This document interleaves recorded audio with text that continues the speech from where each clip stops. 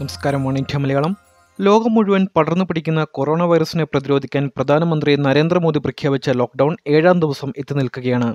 കഴിഞ്ഞ ഇരുപത്തിനാല് മണിക്കൂറിനുള്ളിൽ ഇന്ത്യയിൽ ഇരുന്നൂറ്റി ഇരുപത്തിയേഴ് പേർക്കാണ് രോഗം സ്ഥിരീകരിച്ചത്. ഇതോടെ ഇന്ത്യയിൽ ആകെ രോഗബാധിതരുടെ എണ്ണം ആയിരത്തി ഇരുന്നൂറ്റി അൻപത്തി ഒന്നായി ഇന്നലെ മാത്രം പതിനൊന്ന് പേർ മരിച്ചതോടെ രാജ്യത്ത് ആകെ മരിച്ചവരുടെ എണ്ണം മുപ്പത്തിരണ്ടായി. ഇന്നലെ മരിച്ചവരിൽ ആറു പേർ നിസാമുദ്ദീനിലെ പള്ളിയിലെ മതസമ്മേളനത്തിൽ പങ്കെടുത്തവരായിരുന്നു. അതേസമയം ഇന്ത്യയിൽ അസാധാരണമായി രോഗം പരക്കുന്ന പത്ത് കേന്ദ്രങ്ങൾ ഔദ്യോഗിക വൃത്തങ്ങൾ തിരിച്ചറിഞ്ഞിരിക്കുകയാണ്. ഇന്ത്യയിൽ വിവിധ സംസ്ഥാനങ്ങളിലെ സ്ഥലങ്ങൾ ഇതിൽ ഉൾപ്പെടുകയും ചെയ്തു. ഡൽഹിയിലെ ദിൽഷാദ് ഗാർഡൻ നിസാമുദ്ദീൻ നോയിഡ മീററ്റ് ബിൽവാര അഹമ്മദാബാദ് കേരളത്തിലെ കാസർഗോഡ് പത്തനംതിട്ട മുംബൈ പൂന എന്നീ സ്ഥലങ്ങളാണ് ഹോട്ട്സ്പോട്ടുകളായി കേന്ദ്ര സർക്കാർ വിലയിരുത്തിയിരിക്കുന്നത്.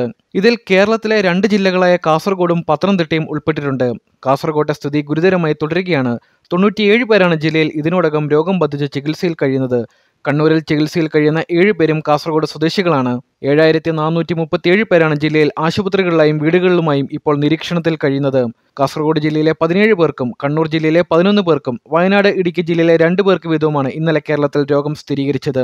അതേസമയം പത്തനംതിട്ടയിലെ നില ശാന്തമായ അവസ്ഥയിലാണ് പോകുന്നത്. നിലവിൽ അഞ്ച് പേർ മാത്രമാണ് പത്തനംതിട്ടയിൽ ചികിത്സയിൽ കഴിയുന്നത്. ഏഴായിരത്തി നാനൂറ്റി എൺപത്തിയാറ് പേർ ആശുപത്രികളിലും വീടുകളിലുമായി നിരീക്ഷണത്തിൽ കഴിയുന്നുണ്ട്. പത്തൊമ്പത് പേരാണ് ആശുപത്രികളിൽ നിരീക്ഷണത്തിൽ കഴിയുന്നത്. ഇതിൽ മൂന്ന് പേരെ ഇന്നലെ ആശുപത്രിയിൽ പ്രവേശിപ്പിച്ചതാണ്. ദില്ലിയിലെ നിസാമുദ്ദീൻ ഹോട്ട്സ്പോട്ടായി മാറാനുള്ള പ്രധാന കാരണം നിസാമുദ്ദീൻ പള്ളിയിൽ നടന്ന മതസമ്മേളനമാണ്. പള്ളിയിലെ പരിപാടിയിൽ പങ്കെടുത്ത ആറുപേർ ഇന്നലെ തെലങ്കാനയിൽ വെച്ച് മരണപ്പെടുകയും ചെയ്തു. മാർച്ച് ഒന്ന് മുതൽ പതിനഞ്ച് വരെയായിരുന്നു നിസാമുദ്ദീനിലെ ദർഗയിലെ മതപരമായ പരിപാടി സംഘടിപ്പിച്ചത്. രണ്ടായിരത്തിലധികം ആളുകൾ ഈ ഒരു പരിപാടിയിൽ പങ്കെടുത്തിട്ടുണ്ട് എന്നാണ് വിവരം.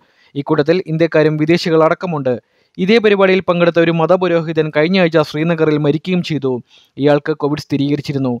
Malaysia Indonesia Saudi Arabia Kyrgyzstan അടക്കമുള്ള രാജ്യങ്ങളിൽ നിന്നുള്ളവർ പരിപാടിയിൽ പങ്കെടുത്തിരുന്നു. മുസ്ലിം മതസംഘടനയായ തബ്ലി ജമാഅത്താണ് പരിപാടി സംഘടിപ്പിച്ചത്. പത്തിൽ കൂടുതൽ കേസുകൾ സ്ഥിരീകരിച്ച മേഖലകളെ ഒരു ക്ലസ്റ്ററായി കണക്കാക്കിയാണ് ഹോട്ട്സ്പോട്ട് മേഖലകളെ നിർവഹിക്കുന്നത്. ഇങ്ങനെ കണക്കാക്കുന്ന ക്ലസ്റ്ററുകൾ ഏറ്റവും കൂടുതലുള്ള മേഖലകളെ ഹോട്ട്സ്പോട്ടായി കണക്കാക്കും. ചില സമയങ്ങളിൽ ഇവ പ്രാദേശികമായിരിക്കും. ചിലപ്പോൾ വ്യാപകമായി പടരുന്ന നഗരത്തെ തിരഞ്ഞെടുത്തേക്കാം. ഇതിൽ അഹമ്മദാബാദ് ഒഴിവാക്കാവുന്നതാണ്. അവിടെ അഞ്ച് കേസുകൾ മാത്രമാണ് സ്ഥിരീകരിച്ചത്. പക്ഷേ മൂന്ന് മരണങ്ങൾ റിപ്പോർട്ട് ചെയ്തു. ഇപ്പോൾ ഹോട്ട്സ്പോട്ടുകളായി കണക്കാക്കുന്ന സ്ഥലങ്ങളെക്കുറിച്ച് വിശദമായ പഠനം നടത്തുമെന്ന് ആരോഗ്യ മന്ത്രാലയം അറിയിക്കുകയും ചെയ്തു. പരിശോധനയുമായി ബന്ധപ്പെട്ട പ്രോട്ടോകോൾ പാലിച്ചായിരിക്കും ഇവ നടപ്പിലാക്കുക. ഇന്ത്യയിൽ ഇതുവരെ സമൂഹ വ്യാപനം നടന്നിട്ടില്ല എന്നതാണ് ആരോഗ്യ മന്ത്രാലയം ഇന്നലെ അറിയിച്ചത്. ഇന്ത്യയിൽ ഇതുവരെ മുപ്പത്തി എണ്ണായിരത്തി നാനൂറ്റി മുപ്പത്തിരണ്ട് പരിശോധനകളാണ് നടത്തിയതെന്നും ആരോഗ്യ മന്ത്രാലയം ഇന്നലെ അറിയിക്കുകയും ചെയ്തു. കൂടുതൽ വാർത്തകൾക്കായി വൺ ഇന്ത്യ മലയാളം സന്ദർശിക്കൂ സബ്സ്ക്രൈബ് ചെയ്യൂ.